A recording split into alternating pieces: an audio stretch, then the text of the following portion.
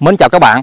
Hiện tại thì à, Hoàng đang có mặt tại à, ấp Phước Long 2, xã Phan, huyện Dương Minh Châu, tỉnh Tây Ninh. Hôm nay à, mình đến đây để quay lại một cái hiện trường. Cách nay 6 ngày Nơi đây vừa xảy ra một cái vụ án mạng rất là đặc biệt. Đó là chú Nghĩa, 57 tuổi. Chú đã ra tay sát hại một cái chú 51 tuổi Giữ cái vườn dưa leo ở đây. Bây giờ thì à, mình đã tới nơi cái à, hiện trường này các bạn. Nơi đây à, cả nhà nhìn xem. Đây là một cái vườn dưa leo, Bao la luôn cả nhà. Còn ở đây là cặp núi Bà Đen nha.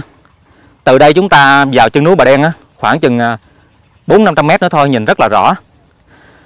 Bây giờ thì Hoàng xin mời cả nhà Cùng theo mình để chúng ta lại nơi cái hiện trường đó, Nơi cái căn nhà mà cái chòi á. Nó đúng hơn là cái chòi. Cái chòi vũ dưa leo á để à, Hoàng à, sẽ quay cho cả nhà xem. Nơi đây chính là cái hiện trường mà cái chú 51 tuổi bị à, chú Nghĩa sát hại. Hiện tại thì mình đã hỏi thăm được nơi đây cả nhà. Từ nơi đây á, chúng ta ra ngoài quốc lộ ngoài đó đó, ra cái lộ lớn ngoài đó khoảng 500 mét. Lúc nãy mình cũng không biết đường để vào đây. Mình hỏi thăm rất là nhiều người. Rồi người ta chỉ mình vào cái vườn dưa leo này. Lúc nãy thì à, Hoàng à, cũng hỏi thăm à, vài người ở đây về cái vụ án này. Nhưng mà mọi người có lẽ là cũng ngại chia sẻ Vì cái vụ án này cơ quan điều tra cũng còn đang điều tra. Cho nên mọi người không có ai dám chia sẻ. Họ chỉ chỉ cho Hoàng vào cái vườn dưa leo này. Cũng như là chỉ cho Hoàng biết nơi đó, ngay cái trò trái đó Là cái hiện trường mà nơi cái chú 51 tuổi đã mất. Bây giờ thì không làm mất thời gian nữa. Hoàng sẽ dẫn cả nhà lại đó để chúng ta quay cái hiện trường. Cho cả nhà xem nha. Xin mời cả nhà.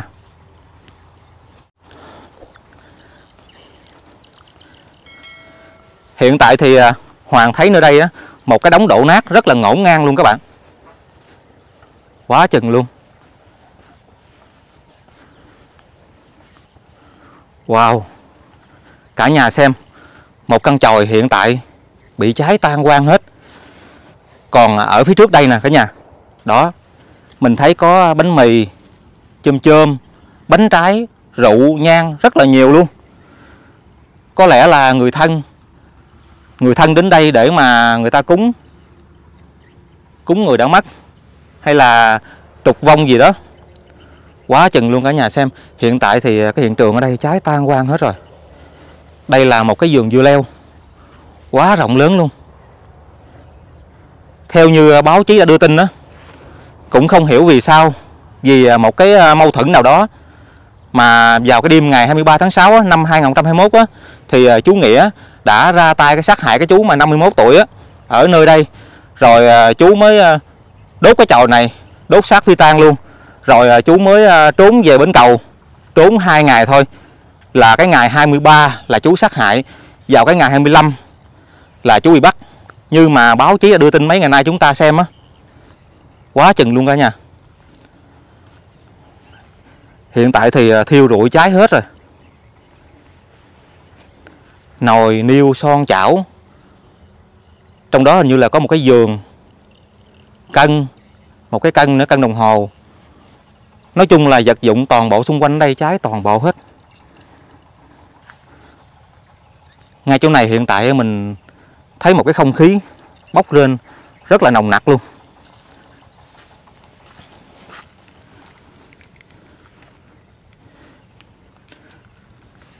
Ở đây thì à, Hoàng thấy có một cái bao tay bao tay này có lẽ là bên à, pháp y người ta bỏ lại.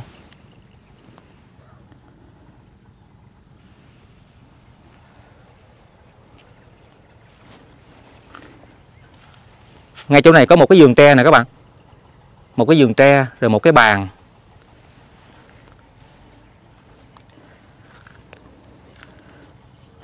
Lúc nãy thì à, Hoàng có hỏi ờ, mấy cái ờ, người dân ở đây á, người ta chỉ ngay chỗ cái quạt đó, đó ngay chỗ cánh quạt mà cái rổ cháy cháy đó.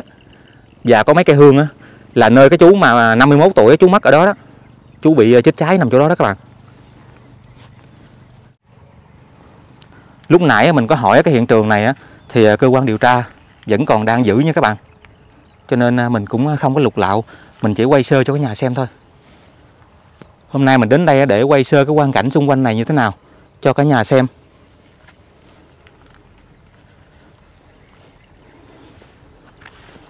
Lúc nãy thì à, mình có thấy hai cái cô đó đến đây cúng. Mình à, cũng không hiểu cúng để à, xin số hay là như thế nào nữa. Mà mình tính sách máy quay, mà mấy cô không có cho. Cả nhà xem, ở đây chính là một cánh đồng dưa leo, rộng lớn bao la luôn. Dưa leo này à, cũng đang à, vào mùa thu hoạch nha các bạn. Hồi nãy mình có hỏi thăm mấy người bẻ dưa leo ở đây á. Người ta nói à, cũng bẻ hết mấy đợt rồi. Quá chừng. Cái sức nóng của cái chòi nó cháy nè. Cháy rụi mấy cái mấy cái vàng dưa mà nằm cận cận của cái chòi nè.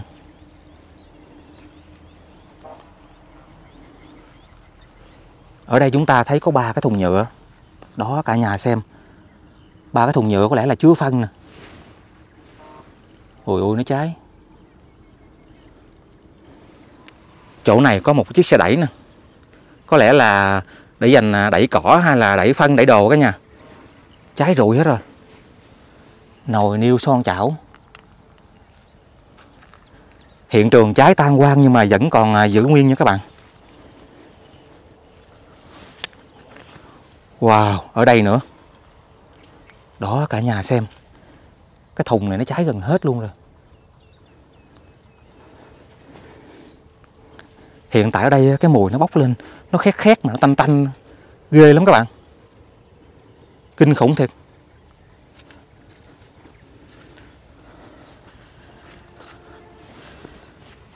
Như ở bên đó đó, Có một cái hầm nữa, Một cái hầm nuôi cá rất lớn luôn.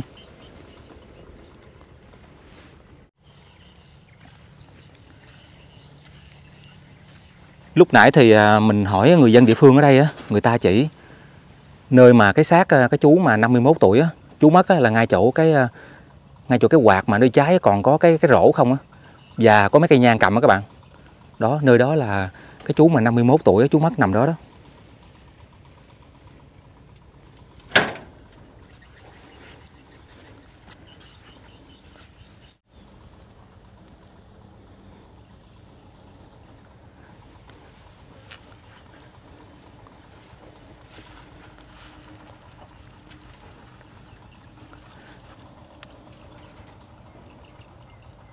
Ở đây giờ chúng ta thấy chỉ còn à, một cái đống đổ nát. Và những cái à, tấm tôn nó cháy nó cháy à, đỏ chét hết rồi. Xung quanh ở đây cả nhà xem nè, những cái dây dưa leo á, nó bị cháy cháy héo luôn.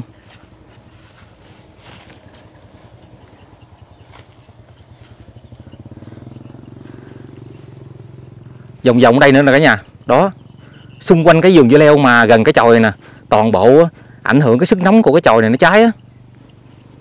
Cả nhà xem, nóng chịu không nổi, nó cháy, đỏ chét hết trơn.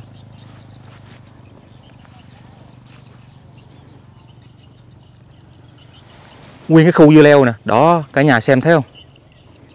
Sức nóng của cái chòi này nè, nó táp lửa ra, cháy, đỏ chét hết trơn. Nó chết nguyên một phần luôn ở đây cả nhà xem có một cái bình ga nữa nè. Bình ga này à, nó bị cháy. Cháy đỏ chét luôn rồi hôm nay thì à, mình đến đây để quay lại hiện trường, nơi mà xảy ra một cái vụ án mạng cho cả nhà xem. Chứ mình cũng không động vào những cái hiện vật ở nơi cái hiện trường này nha các bạn. Để cho cơ quan điều tra tiếp tục vào đây để dựng hiện trường hay là thu thập thêm những cái chứng cứ á. Cho nên mình chỉ à, quay thôi, chứ không có sờ vào hay là di dời những cái đồ đạc ở đây. Ngay chỗ này chúng ta thấy có à, những cái bao. Mấy cái bao này có lẽ là bao mà người ta xài à, đựng phân, diêm tro rồi á. Xài xong rồi họ chất ở đây nè.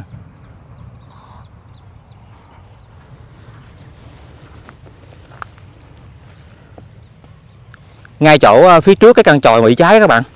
Có một cái hầm cá quá lớn luôn nè. Đó, cả nhà xem. Cái view quá đẹp luôn cả nhà.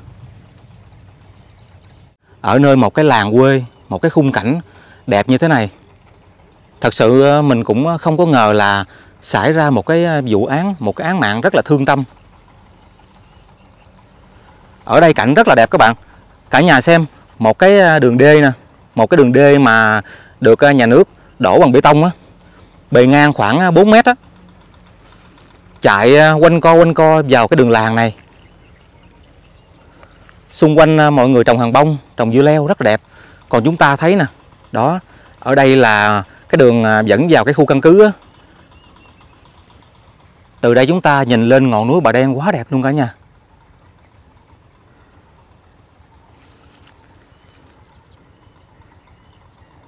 Không có ai ngờ nơi đây lại xảy ra một vụ án mạng rất là thương tâm như vậy nữa.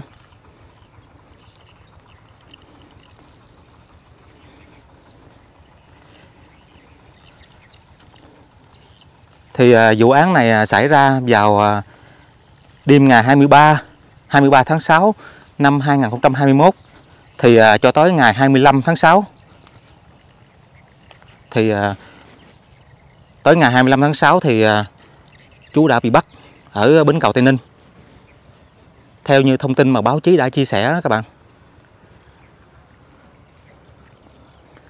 Hiện tại bây giờ là 12 giờ trưa rồi, nắng kinh khủng luôn. Hôm nay thì à, mình đến đây để à, quay lại nơi cái hiện trường này cho cả nhà xem, để cả nhà hiểu hơn cái khung cảnh xung quanh nơi mà cái hiện trường xảy ra một cái vụ án mạng vào đêm ngày 23 tháng 6 năm 2021 như thế nào thì à, bây giờ clip của Hoàng à, xin phép dừng ở đây nha cả nhà. Cả nhà hãy nhớ bấm subscribe đăng ký kênh để à, sắp tới Hoàng tiếp tục quay những à, video mới cho cả nhà xem nha. Xin chào cả nhà.